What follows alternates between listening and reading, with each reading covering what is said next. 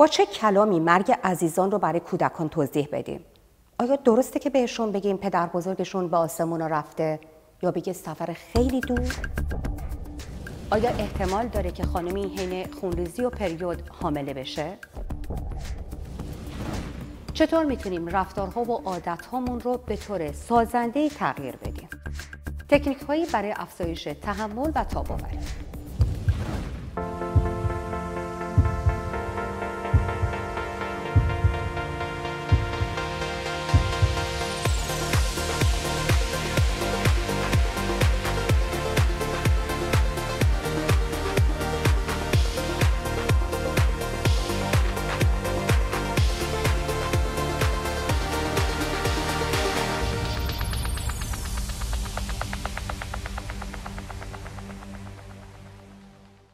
یکی از سختترین موضوعاتی که با یک کودک میشه مطرحش کرد مرگ هست.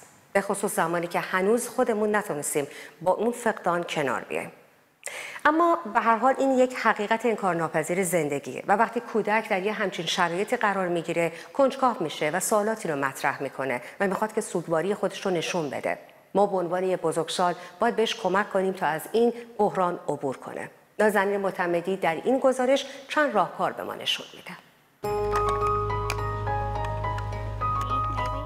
طبیعیه که بچه در مورد مرگ کنجکاو باشه بهترین فرصت برای صحبت در مورد مرگ با بچه ها وقتی که اوضاع آرومه و کسی از دنیا نرفته از این فرصت ها استفاده کنید و به بچهتون کمک کنید که وقتی یکی فوت کرد راحت تر با قضیه کنار بیاد.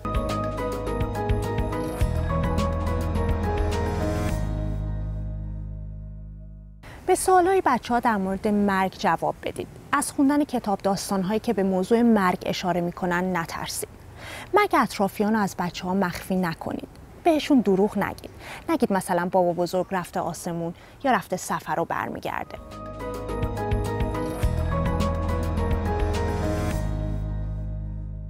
مامان جون بشین می‌خوام یه خبر ناراحت کننده بهت بدم. متاسفانه با بزرگ امروز مرد. می‌دونی که چند وقت بود مریض بود. با بزرگ خیلی پیر بود. وقتی بدن آدم خیلی خیلی پیر میشه دیگه مثل قبل کار نمی‌کنه و کم کم از کار میفته با بزرگ دیگه نمی‌تونه بشینه بخوابه غذا بخوره بدوه. اما از اون بر هیچ دردی هم احساس نمی‌کنه. بهترین راه توضیح مرگ برای کودکایی که سنشون پایینه اینه که بگین وقتی یه نفری میمیره عملکرد طبیعی بدنش متوقف میشه. لازم نیست وارد توضیحات پیچیده راجع به یه بیماری خاص بشید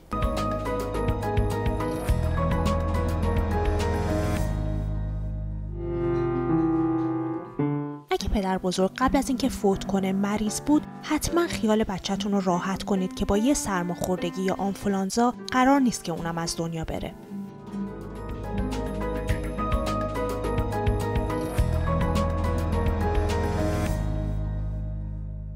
سوگواری برای کنار اومدن با غم از دست دادن و فقدان خیلی مهمه. ولی حواستون باشه که شیون نکنید و زجه نزنید که بچهتون وحشت کنه. از اون برم لازم نیست تظاهر کنید که همه چی خوبه و شاد و خوشحالید. خیلی راحت به بچه توضیح بدید. مامان جون من خیلی ناراحتم و بزرگترام نیاز دارن گاهی گریه کنن. دلم خیلی برای با بزرگ تنگ شده.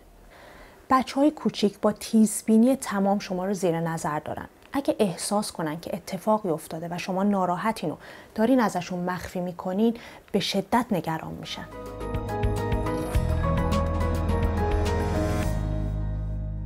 ما بزرگتران معمولا برای رایت ادب از عبارتهایی استفاده می‌کنیم مثل اینکه فلانی فوت کرد از دنیا رفت درگذشت به رحمت ایزدی پیوست یا به خواب ابدی رفت. این عبارت ها برای بچه های کوچیک گمراه کننده و گیج کننده است. خیلی ساده به بچه بگین بابا بزرگ مرده. ممکنه برای شما ناخوشایند باشه ولی حداقل برای بچه شما قابل درکه.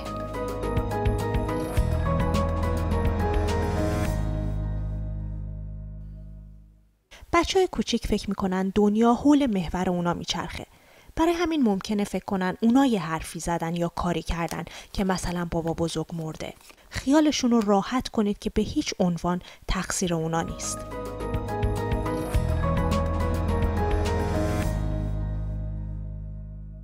بچه ها باید راه های مشخصی برای سوگواری کردن داشته باشن. ممکنه تو این سن بچه ها آماده رفتن به مراسم تشریح جنازه یا مراسم ختم نباشن. ولی میشه کنار هم مثلا به یاد پدر بزرگ شم روشن کرد یا با هم نقاشی کنیم یا آلبوم های خانوادگی و ورق بزنیم. آلبوم های های قدیمی پدر بزرگ توشونه. بچه ها باید اجازه داشته باشن احساساتشون نسبت به مرگ عزیزی که از دست دادن رو هر طوری که می‌خوان ابراز کنن و نشون بدن.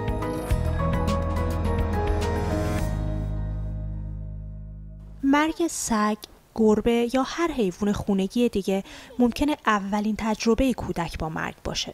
تجربه بسیار دلخراش و تکون دهنده ممکنه توی ذهن بچه این حیوان اولین دوستش بوده باشه. اولین موجودی که بدون قید و شرط عاشقش بوده. اگه همچین اتفاقی افتاد به بچه بگید که کاملا درکش می‌کنید و باهاش تا حد امکان هم دردی کنید.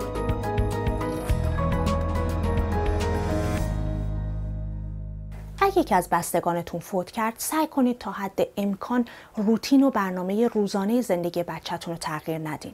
همین روزمرگی که به بچه حس امنیت میده. بچه باید سر وقت بخوابه سر وقت بیدار شه و سر وقت غذا بخوره. اگر بچه عضو تیم ورزشیه یا هر فعالیت گروهی دیگه ای که داره سعی کنید مثل قبل ببریدش تا بتونه اون کلاس ها رو شرکت کنه.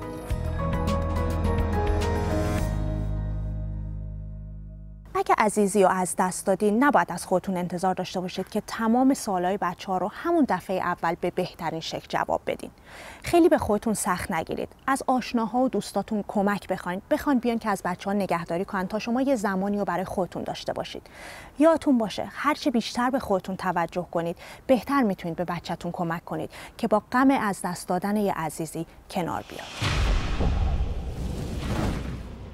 گفتگوی داریم با آقای دکتر هادی شاکر فوق تخصص روانپزشکی کودکان و نوجوانان.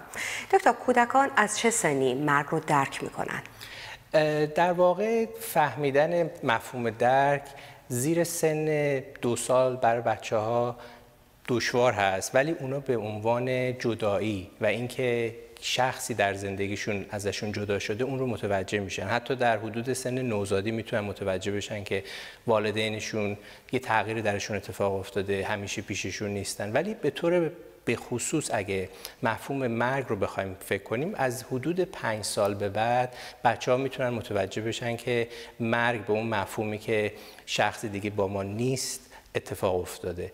ولی خب هدف این هستش که به بچه ها کمک بکنیم تا اونجایی که میشه این مفهوم رو به عنوان یه مسئله خیلی ساده بتونن بپذیرن.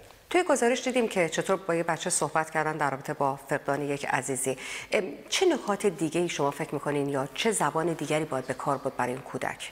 خیلی مهمه که بچه بتونه درک بکنه که مرگ یک اتفاق برگشت ناپذیره.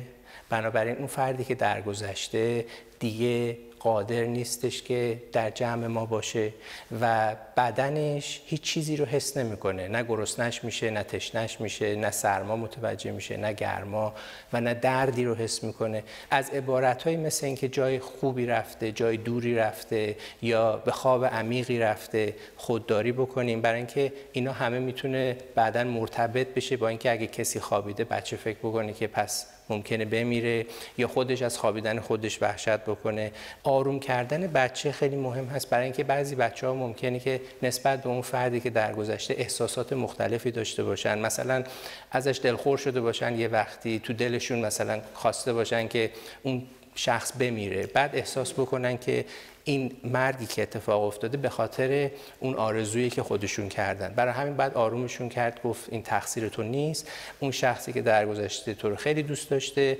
عاشقت بوده و ربطی به احساسات تو نداره.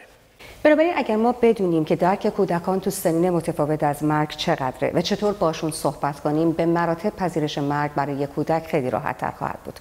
تو این ویدیو چند تا کودک هستن که والدینشون رو از دست دادن. اونها به ما میگن که دلشون می‌خواسته اطرافیانشون چطور اون موقع با اونها صحبت کنن. نمی‌دونستم وقتی مامانم مریض شد باید چی کار کنم. شاید اگه دکتر می‌گفت کجای بدنش درد می‌کنه حداقل حواسمون بود که بیشتر مراقب باشیم و به اونجاها دست نزنیم. حتی برادر کوچیکم که شش سالش هم می‌خواست بدون چه خبره. می‌دونست که حال مامانم بده. اما خیلی بهتر بود اگه یه کسی که بهش اعتماد داشتیم یه جوری بهمون به می‌گفت مامان ممکنه بمیره. بزرگترهایی که خبر مرگ رو به ما بچه ها میدن باید حتما بگن اون مرده و مطمئن بشن که ما معنیش رو فهمیدیم. مثلا بگن متاسفانه قلب مامانت از کار ایستاده و دیگه کار نمی‌کنه. این یعنی اون مرده. بدن و مغز مامان دیگه کار نمی‌کنه. مامان نمی‌تونه حرف بزنه ببینه بشنوه بخوره حرکت کنه یا چیزی رو حس کنه. بیشتر بچه های 4 5 ساله فرق بین کسی که زنده است و مرده است رو می‌فهمن. درسته که معمولا بچه ها احساساتشون رو راحت نشون میدن اما تو این شرایط ممکن احساساتشون رو قایم کنن و تظاهر کنن که هیچ اتفاقی نیفتاده. یادتون باشه بچه ها تو این سن کم کم می‌فهمن که همه میمیرن از جمله خودشون و بقیه اعضای خانواده. این می‌تونه براشون خیلی خیلی ترسناک باشه.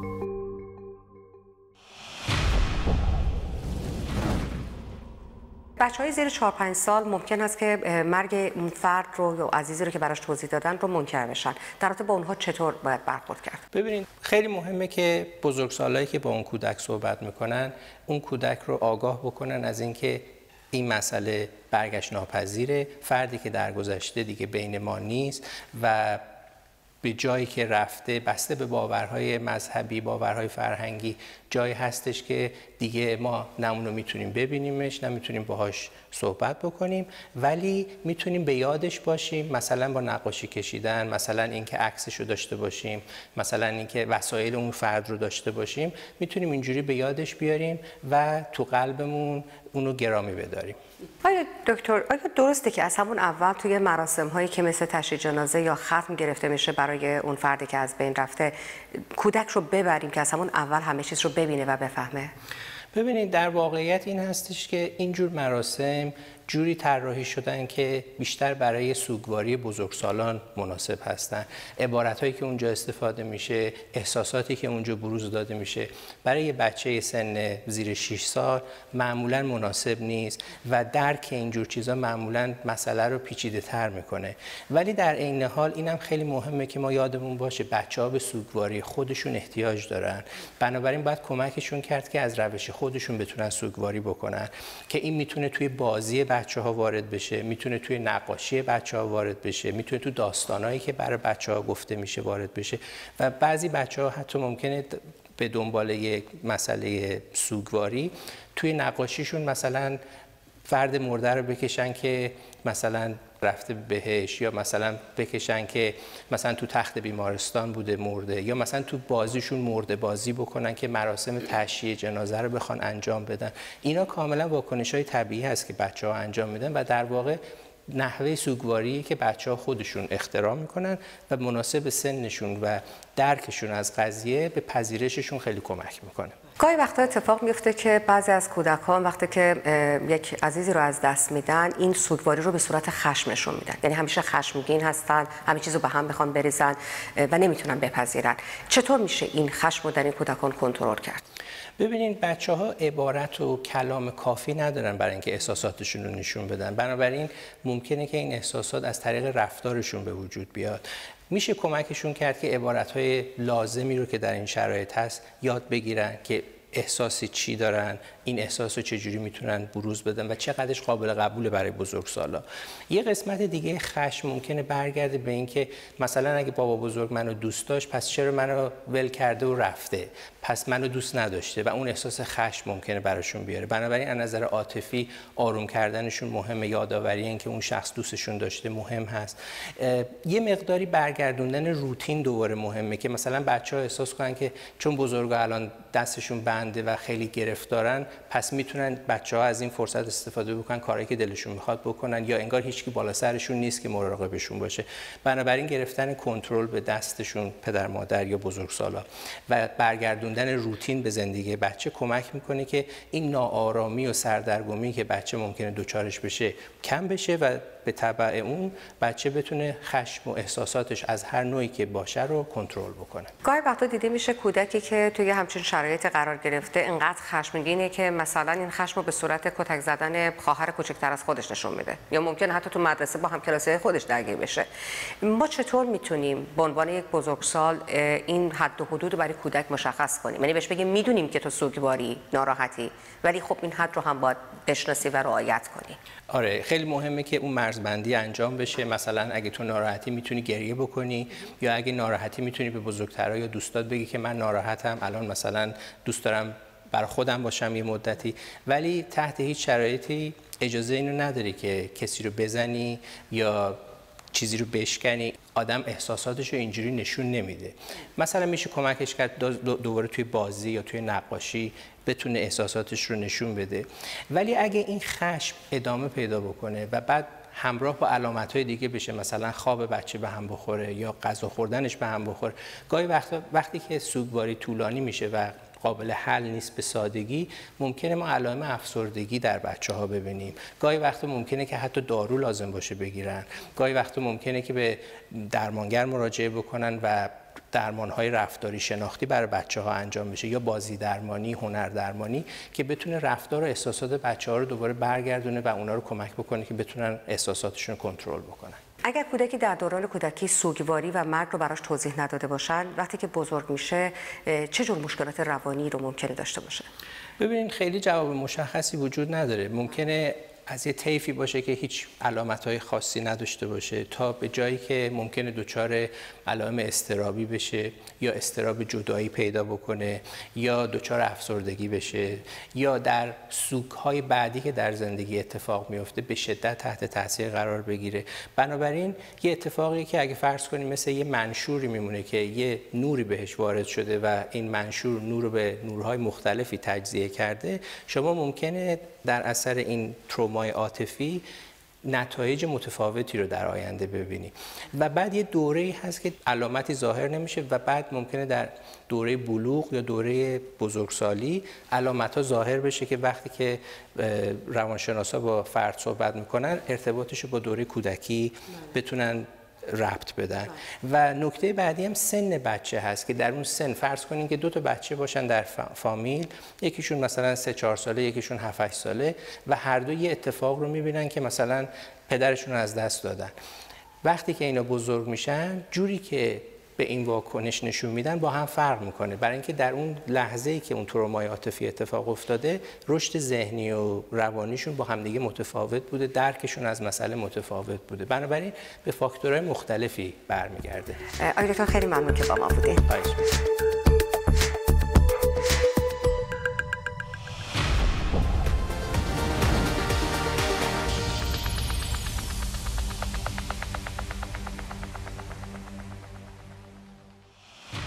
می‌خواستم ببینم آیا این درسته که خانما وقتی پریود هستن باردار نمیشن؟ با اینکه احتمال باردار شدن در حین خونریزی یا بلافاصله بعد از قاعدگی خیلی کمه اما غیر ممکن نیست علتش هم به خاطر اینه که اسپرم ها در دستگاه تناسلی یک زن تا یک هفته می‌تونن دوام بیارن و همینطور تخمک گذاری می‌تونه هم در حین خونریزی و هم بلافاصله بعد از قاعدگی اتفاق بیفته و به همین دلیل اگر خانمی در حینی که خونریزی و قاعدگی داره یا در انتهاش یعنی بلافاصله بعد از قاعدگی نزدیکی جنسی داشته باشه احتمال باردار شدن رو داره.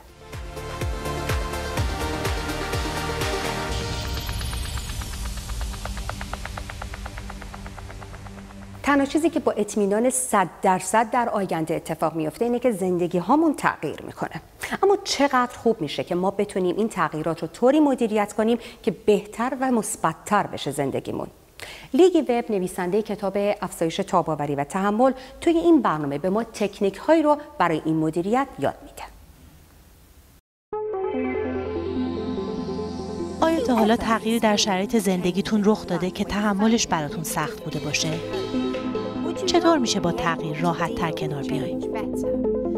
در این برنامه بهتون نشون میدم که چطور تغییرات رو بپذیرید تا بتونید تو دنیای متغیر و بی‌ثبات امروز خودتون رو با این شرایط وفق بدین و رشد کنید. از خیلی جهات ما مخلوق عادتی برای همین تغییر می‌تونه گاهی واقعا سخت باشه و حتی آزار دهنده ولی این ضرب المثل که چیزی که تو رو نمی‌کشه قوی ترت می‌کنه می‌تونه تو بعضی از اون موقعیت ها خیلی صادق باشه. داستان مرد و پروانه این ضرب المثل رو خیلی قشنگ به تصویر می‌کشه. یه روزی مردی یه پیله کرم ابریشم پیدا می‌کنه. خیلی کنجکاوه که ببینه چطور کرم ابریشم تبدیل به پروانه میشه. ذره بینش رو برمیداره و پیله کرم ابریشم رو به دقت وارسی می‌کنه یه دفعه متوجه پروانه میشه که داره از پیله به سختی خودش رو بیرون می‌کشه و درد زیادی تو چهرشه. مرد تصمیم می‌گیره به پروانه کمک بکنه. یه قیچی برمیداره و خیلی با دقت طوری که به پروانه هیچ آسیبی نزنه دور پیله رو می‌بره. همونطور که میشه انتظار داشت پروانه به راحتی بیرون میاد. اما بعد از چند دقیقه میفته و میمیره. چیزی که مرد در مورد فرایند تغییر شکل کرم ابریشم به پروانه متوجه نشد این بود که پروانه به اون تلاش کردن احتیاج داشت. لازم بود که بالهاش رو از وسط اون سوراخ ریز مدام به بیرون فشار بده و خون و انرژی لازم رو بهشون پمپاژ کنه تا بتونه اونها رو برای توانایی پرواز کردن تقویت کنه.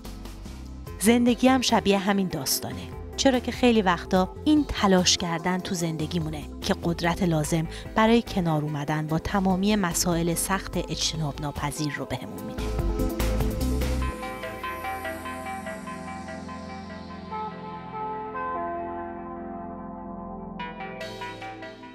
واقعیت اینه که وقتی فواید تغییر کاملا مشخصه ما با خوشحالی تمام تغییر رو میپذیریم.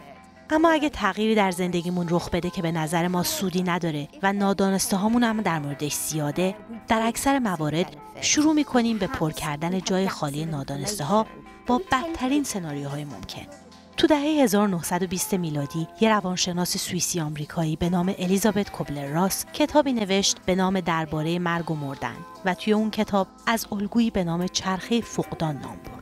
واکنش ما نسبت به تغییری که لزوما دوست نداریم یا نمیپذیریم با این چرخه فقدان قابل توضیحه.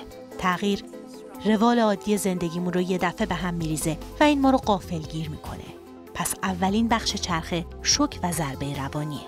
مرحله بعدی انکاره باور نمی کنیم که چنین تغییری داره در زندگیمون رخ میده و ردش می‌کنیم بعدش ممکنه حسابی خشمگین و مستاصل بشیم چون که ما اون تغییر رو یا نخواستیم یا دوست نداریم یا نمی‌خوایم که اتفاق بیفته و به همین خاطر ممکنه معیوس و افسرده بشیم. منظورم افسردگی بالینی نیست. غمگین بیانگیزه یا خسته شدن از تغییرات بیوقف است. بعدش احتمالا شروع می‌کنیم به چونه زدن. شروع می‌کنیم به بده بستون. بلکه بتونیم یه چیزایی رو در زندگیمون بدون تغییر حفظ کنیم و فقط یک بخشهایی ازش رو تغییر بدیم و در نهایت بالاخره یه وقتی تغییر رو میپذیریم. بهترین و قدرتمندترین موقعیتی که می‌تونیم داشته باشیم همین نقطه پذیرشه. هرچه زودتر به این مرحله برسیم و تغییر رو بپذیریم انرژیمون رو به جای مقاومت و انکار می‌تونیم روی تاثیر گذاشتن روی تغییر بذاریم. این یه جورایی شبیه نگه داشتن شن تو دستمونه. همه ما تا یه حدی وسواس کنترل کردن داریم. اگه بخوایم مشتتون رو محکم نگه دارید که شن از تو دستتون بیرون نریزه دقیقا برعکسش اتفاق میفته دونه های شن از لابلای انگشتاتون لیز می‌خورن. بهترین کار اینه که کف دستتون رو باز نگه دارین. در این حالت بیشترین کنترل رو روی دانه های شن دارین. موقع واکنش به تغییرم باید این مثال رو توی ذهنتون داشته باشین. فقط چیزایی رو کنترل کنین که قابل کنترله. خیلی تغییرات تو زندگی هست که شما نمی‌تونین کاری در موردش بکنین. جز اینکه واکنش خودتون رو سنجیده و با فکر انتخاب کنین.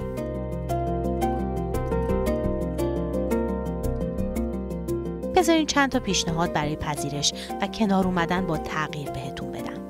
اول مشخص کنید که تغییری که براتون اتفاق افتاده دقیقا چیه و بنویسیدش. دوم تمام موارد منفی بالقوه رو در مورد تغییر بنویسید. بعد به تمام فرصت های مثبتی که اون تغییر ممکنه با خودش بیاره فکر کنید. سوم به طرز فکرتون توجه کنید. باید کمی از ماجرا فاصله بگیریم و مثبت بیاندیشیم. و در آخر اینکه نگرانی هاتون رو با آدمایی که تغییر مشابهی رو تجربه کردن به اشتراک بگذارید و نظر اونا رو بپرسید. صفحه فیسبوک ما منتظر شماست. facebook.com bbcpersiantv همینطور با هشتگ 37 درجه برنامه رو در اینستاگرام و تلگرام دنبال کنین ایمیل یادتون نره. به من نه به برنامه. 37 at bbc.co.uk تا دفعه بعد شاد شاد تنتون سالم روزگارتون درنگیز